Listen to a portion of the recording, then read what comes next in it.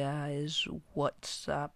I want to show you something that bothers me a lot and which is if I connect my uh, my computer my laptop to HDMI and connect it to TV and it messed up it messes up the resolution that so it doesn't come up full screen on TV and I I figured it out finally I I don't know how I figured it out, but I, I just did. So first thing you want to do is you want to right click and then you want to hit screen resolution.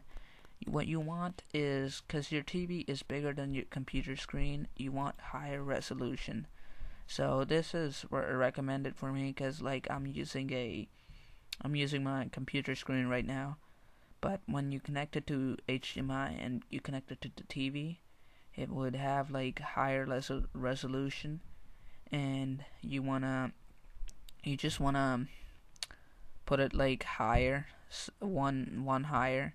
If like you can't see like you, let's say you can't see this part of the you can't see like your your taskbar right here. You can't you can see this you can't see it so you want to get higher resolution so it so it has like full screen.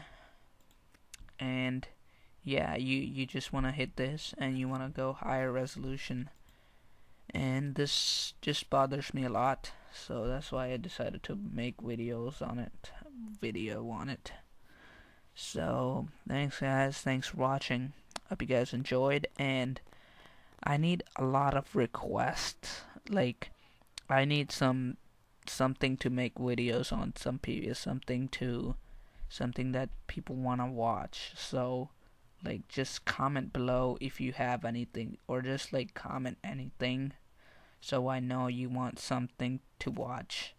Okay guys. See you later